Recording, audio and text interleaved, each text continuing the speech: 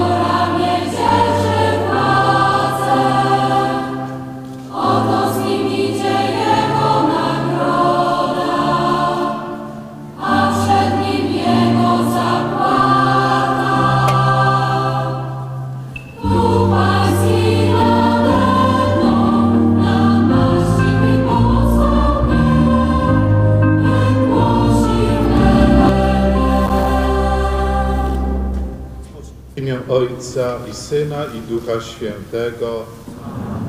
Pokój niech będzie z wami.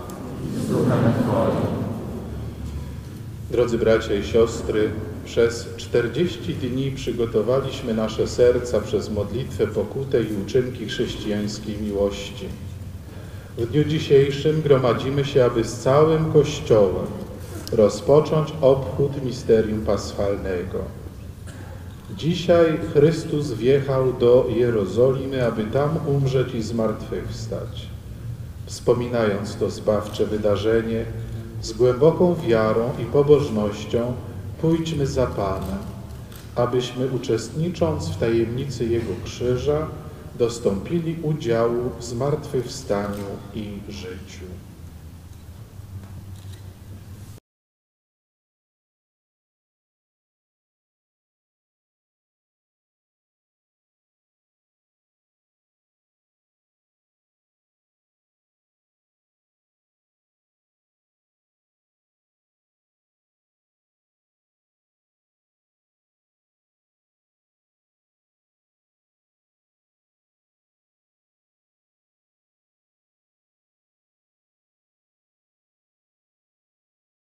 Słowa Ewangelii według świętego Łukasza.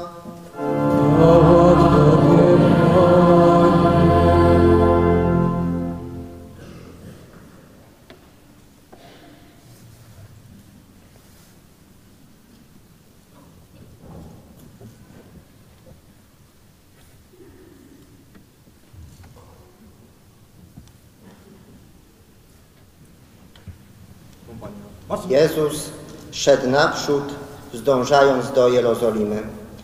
Gdy przybliżył się do Betfage i Betanii, ku górze zwanej Oliwną, wysłał dwóch spośród uczniów, mówiąc Idźcie do wsi, która jest naprzeciwko, a wchodząc do niej znajdziecie uwiązane ośle, którego nie dosiadał żaden człowiek. Odwiążcie je i przyprowadźcie. A gdyby was kto pytał, dlaczego odwiązujecie, tak powiecie. Pan go potrzebuje. Powiadam wam, jeśli ci umilkną, kamienie wołać będą. Oto słowo pańskie.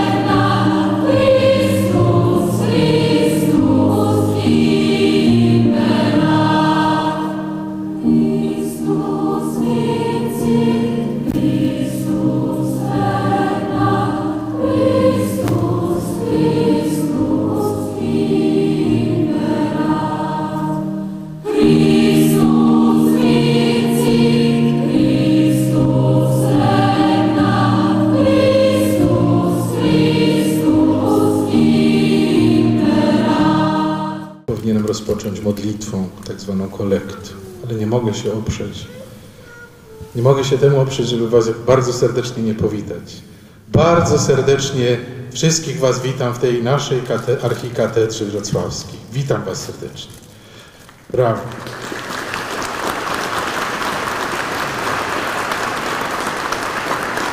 Moi kochani, Wszystkich bardzo serdecznie witam. Kapłanów, którzy w tak dużej liczbie są obecni dzisiaj, którzy z Wami przyjechali, siostry zakonne.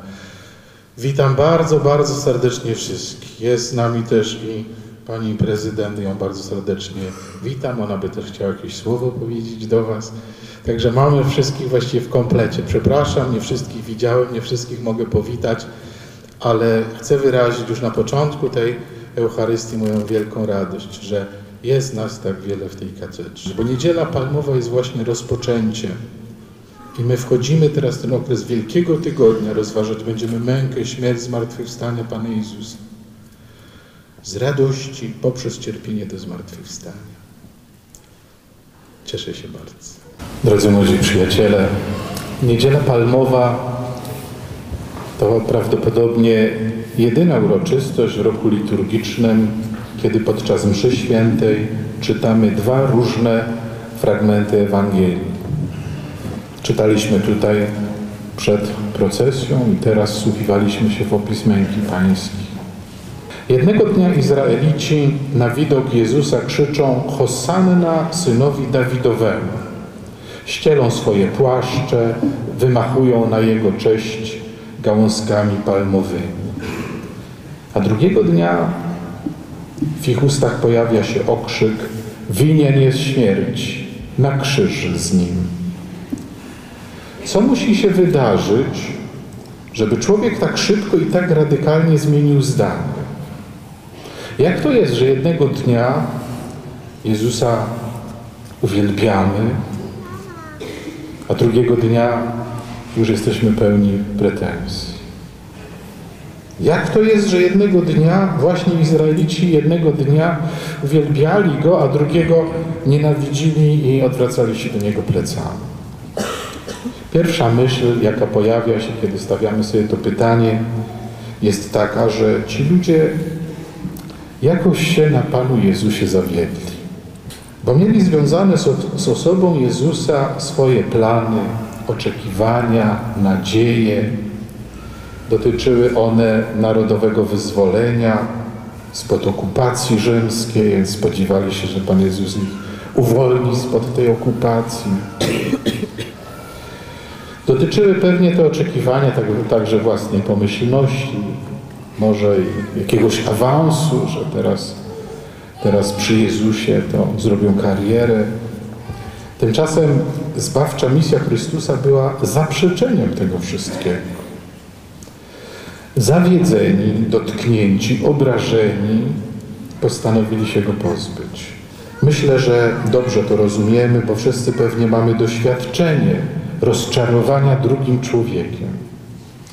Sądzę, że pomimo młodego wieku doskonale wiecie, co to znaczy pokładać w kimś nadzieję, wiązać z nim swoje plany, a potem przeżyć rozczarowanie.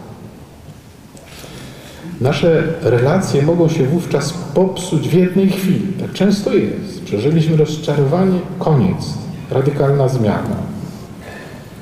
Wielu dziś byłoby gotowych także krzyknąć winien jest śmierć, bo nie zrealizował tej mojej prośby. Moi kochani, ta uroczystość uświadamia nam, że jako ludzie nigdy do końca nie wiemy, co jest dla nas dobre. My widzimy pewien wycinek swojego życia, Bóg widzi je w całości i chce doprowadzić każdego z nas do zbawienia. Jako kochający Ojciec nigdy nie godzi się na naszą porażkę, na potępienie czy odrzucenie. Chce i pragnie naszego szczęścia i doskonale wie, jaką drogą to szczęście możemy osiągnąć. I chce nas tą drogą prowadzić. Mieszkańcy Jerozolimy wobec Boga zachowali się jak małe dzieci. Jezus ich zawiódł, przynajmniej subiektywnie o tym byli przekonani, więc całkowicie się od Niego odwracają. Ich zachowanie jest kopiowane przez pokolenia.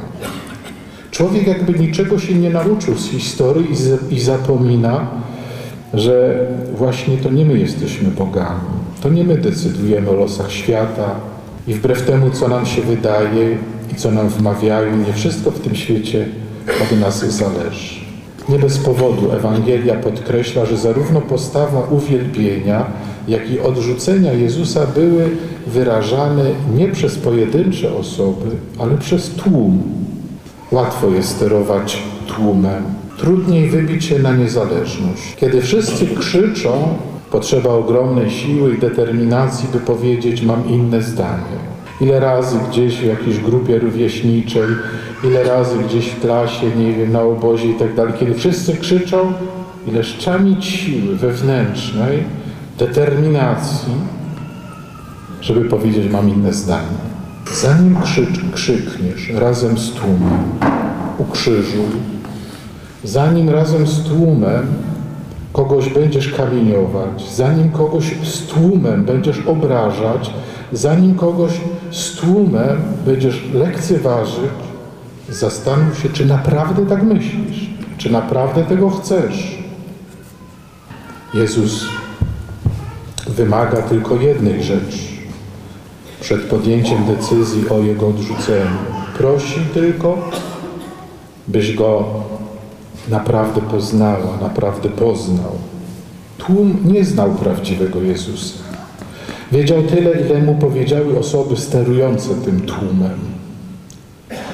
Dlatego, moi kochani, bardzo Was proszę, nie opierajcie się w życiu swoim na tym, co powiedzą Ci na temat Chrystusa. Poznaj Go osobiście. Porozmawiaj z Chrystusem. Nie wydawaj opinii o Chrystusie, jeśli wcześniej z Chrystusem się nie spotkasz. Jeśli nie doświadczysz Jego obecności w swoim życiu. Nie opieraj się na tym, nie buduj na tym, co przeczytasz w gazecie, w internecie, co usłyszysz w telewizji, na przykład o Kościele. Najpierw bardziej zaangażuj się w Jego życie. Poznaj ten Kościół. Cały jest miłosierdziem. Nie umie się odwrócić do nas plecami. Nie potrafi się do nas nie odzywać. Albo nie mówi nam, radź teraz sobie sam. Z Jego śmierci, na krzyżu, tej okrutnej śmierci, wyprowadzi zbawienie świata. Składamy na ołtarzu wino i wodę. Dziękujemy Ci, że przelałeś swoją świętą krew, aby każdy z nas mógł żyć nadzieją na życie wieczne. Przynosimy w darze chleb. Dziękujemy Ci, Jezu, że zostałeś z nami w sakramencie Eucharystii, w którym możemy spotykać się z Tobą twarzą w twarz i mówić Tobie, jak bardzo Cię kochamy.